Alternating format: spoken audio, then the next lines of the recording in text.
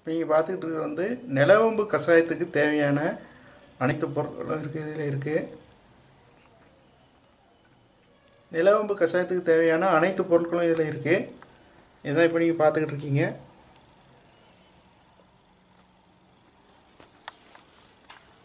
முக்கியமாக தேவையானது நிலவெம்பு.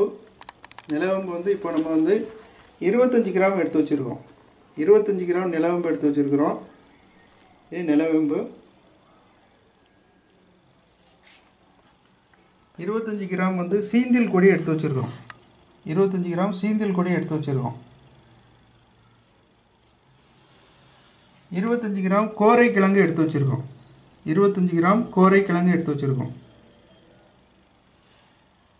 இருபத்தஞ்சி கிராம் பப்படை புல் எடுத்து வச்சுருக்கிறோம் இருபத்தஞ்சி கிராம் பப்படை புல் எடுத்து வச்சுருக்கிறோம் கண்டங்கத்திரி வேறு இருபத்தஞ்சி கிராம் எடுத்து வச்சுருக்கோம். கண்டங்கத்திரி வேறு நம்மளால் கிடைக்கல அப்படின்னா கண்டங்கத்திரி விதை இது வந்து இருபத்தஞ்சி கிராம் இருக்குது ஏதாவது ஒன்று சேர்த்தா போதும். வேர் கிடைச்சா வேர் சேர்க்கணும். அப்படி இல்லைன்னா கண்டங்கத்திரி விதையை சேர்த்துக்கலாம் நிலவம்பு கஷாயத்துக்கு. அப்படி இல்லை அப்படின்னா ஆடாதோட இலை கிடைச்சுன்னா அதை சேர்த்துக்குங்க. அதுவும் கிடைக்கலன்னா தூதுவாழை இலை சேர்த்துக்கிடலாம்.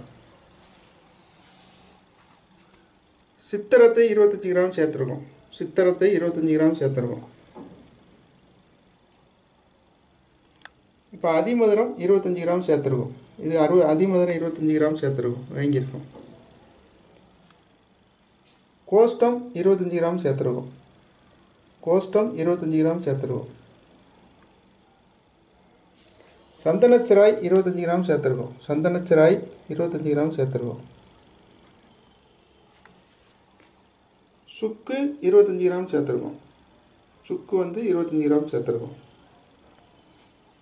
அப்புறம் வெட்டி வேர் வந்து இருபத்தஞ்சி கிராம் சேர்த்துருக்கோம். அடுத்ததில் பார்த்தீங்கன்னா விளாமிச்சி வேர் இருபத்தஞ்சி கிராம் சேர்த்துருக்கோம். இதுதான் நிலவம்பு கஷாயத்துக்கு சேர்க்கக்கூடிய முக்கியமான பொருட்கள். ஏன்னா இதை வந்து நீங்கள் கடையில் கைப்பக்குவமாக வாங்கணும். இந்த மூலிகையில் பார்த்து வாங்கணும் கண்டிப்பாக இதை வந்து நல்ல இனங்கள் கண்டுபிடிச்சி இதில் நம்ம காமிச்சிருக்க மாதிரி இருக்கணும் அது. அப்படி இல்லாத மாற்றி கொடுத்துட்டாங்கன்னா அதை வாங்கி கஷாயம் போட்டு குடிக்காதீங்க. இந்த மூலிகைகள் கண்டிப்பாக நாட்டு மருந்து கடையில் எல்லா கடையிலையுமே இருக்கும். அதனால் இந்த மூலிகைகளை பார்த்து பறிச்சு நம்ம வாங்கணும். வாங்கி அதுக்கப்புறம் இதை வந்து சுத்தி பண்ணிக்கிடணும். எதை எதை எப்படி எப்படி சுத்தி பண்ணணும் அப்படிங்கிறத பார்த்துக்கிட்டிங்கன்னா இதில் வந்து முக்கியமாக சுக்கு மட்டும்தான் வறுக்க வேண்டியிருக்கு. மற்ற எல்லாமே சுத்தி முறையில் அதிகமாக இல்லை இது. அதனால் இந்த சுக்கு மட்டும் நல்லா வறுத்து எடுத்துக்கோங்க. அது ரொம்ப கறிக்கிறாங்க அந்த மாதிரி இல்லாமல் நமக்கு தேவைக்கு சுத்தி பண்ணால் போதும்.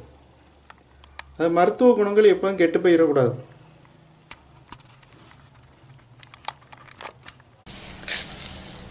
சனிக்கிழமை காலையில்